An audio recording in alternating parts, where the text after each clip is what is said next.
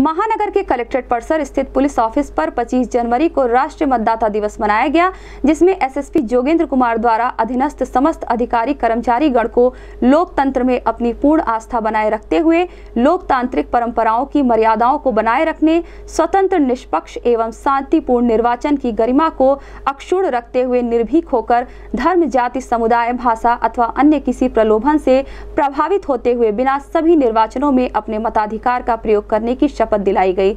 इस दौरान एसएसपी जोगेंद्र कुमार ने 26 जनवरी को गणतंत्र दिवस के अवसर पर पुलिस परेड ग्राउंड में होने वाले परेड के दौरान सभी को बावर्दी दुरुस्त पहुँचने का निर्देश देते हुए पुलिस परेड समाप्त होने के पश्चात अपने अपने कार्यालयों में रिज़र्व रहने के निर्देश दिए। इस संबंध में गोरखपुर न्यूज़ से बात करते हुए एसएसपी जोगेंद्र कुमार ने कहा।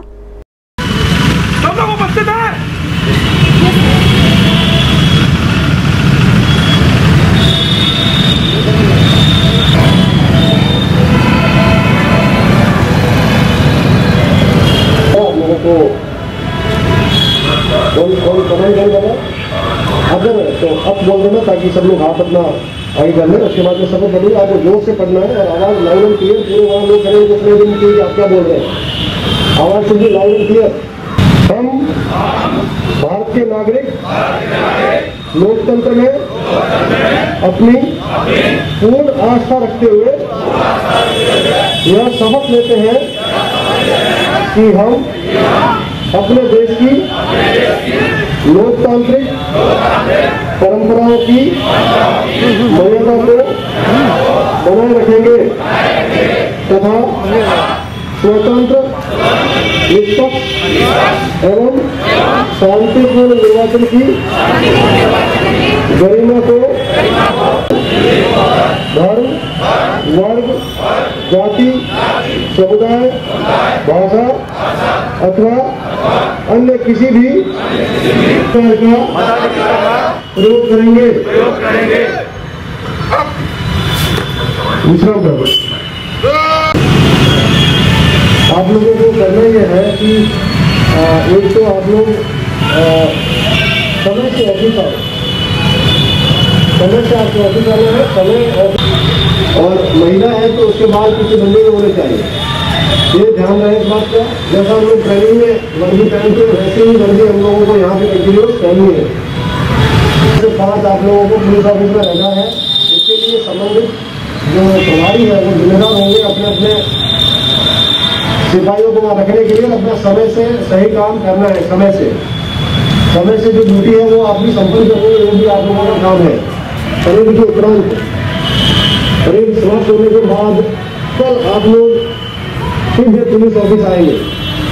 अपने ऑफ़िस में बैठेंगे बॉडी प्रोटेक्टर हेलमेट आपके पास हमेशा होता ही है, होना नहीं दी जाएगी कि साहब मेरे पास नहीं है और आज तो मैं लाया नहीं, आज तो मैं भूल गया आज तो साहब बटन टूटा हुआ है इसका आज तो साहब सिलाई नहीं है ढंग से, आज तो साहब जो है वो टूटी हुई है। पता लगा सीलिंग टूटी हुई है या फिर वो जो, वो पहनते हैं जिसमें बटन होते, वही टूटा हुआ है बटन नहीं बाँध पा रहे उसका तीन बटन होते हैं चार बटन होते हैं किसी में।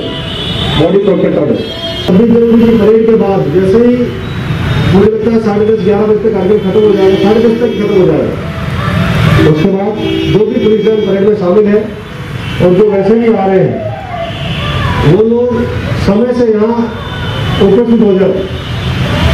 आप लोग कल पेशकार के कहने के बाद और सीओ ऑफ़िस के कहने के बाद शुक्ला जी कहने के बाद ही पुलिस ऑफ़िस छोड़ेंगे।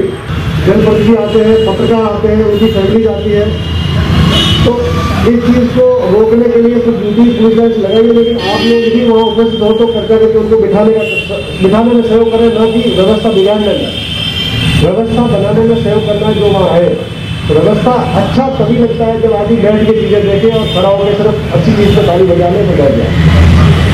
अच्छा ये आज 25 जनवरी 2021 को राष्ट्रीय मतदाता दिवस के अवसर पर हमने पुलिसकर्मियों को जो हमारे समझ शाखा कर्मी है पुलिसकर्मी पुलिस कार्यालय में उपस्थित, उनको राष्ट्रीय मतदाता दिवस के अवसर पर शपथ दिलाई गई है कि स्वतंत्र होकर निष्पक्ष होकर और तटस्थ रह करके अपने मताधिकार का प्रयोग करें।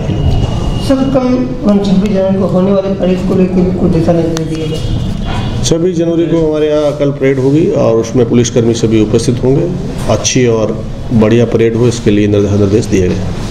सर गणतंत्र दिवस को अ, संपन्न कराने के लिए सर सुरक्षा के क्या इंतज़ाम किए पुलिस फोर्स लगाई गई है पुलिस लाइन में भी इनर कॉर्डन में आउटर कॉर्डन में और पुलिस लाइन के अलावा अन्य जगहों पर भी पूरे शहर में अलग अलग जगह पर ड्यूटीज़ लगाई गई है जिससे जो है छब्बीस जनवरी पर पूरी तरह से सुरक्षा अच्छी तरह से बनी रहे।